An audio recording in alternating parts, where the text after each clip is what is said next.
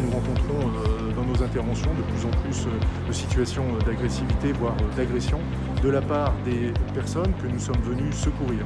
Puisque là est l'élément vraiment caractéristique, c'est que dans 8 cas sur 10, l'agresseur est la personne à laquelle nous sommes venus porter.